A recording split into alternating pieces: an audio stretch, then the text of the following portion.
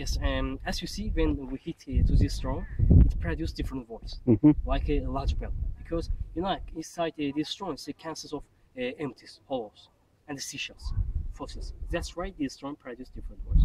And people in ancient times they used it uh, as a musical instrument. Uh, for example, they play here, uh, hit to this stone, and dance around here. And they also they use it uh, as a, a communication, stone for the communication. Uh, so if you look to the top of that rock, of the stone, uh, you see dancing men people. Can you see them? This dance name Yallı. It's the ancient uh, traditional national Azerbaijan dance. Look silly. It's mm, traditional national Azerbaijan dance. And the Yallı name consists of two words, Yal and Li. It means the hunt dance, uh. Uh, because uh, people dance Yallı before hunting and after the hunting ceremonies, rituals. And also even now, Yallı is a famous dance among the Azerbaijan people. For example, our people even now dance Yallı in the wedding rituals, wedding ceremonies.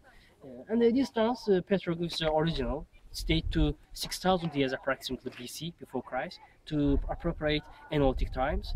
Uh, and um, if you want, um, you can play here this uh, gavaldash. If you don't want, you can continue. Šta trebamo igrati se? Probaj. Šta sa zvukom? Sviraj, da.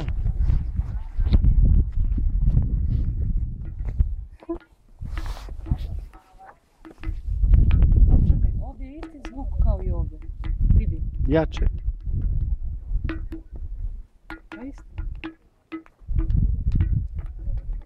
Šta oni su, ovo su tako i šta? Uh -huh.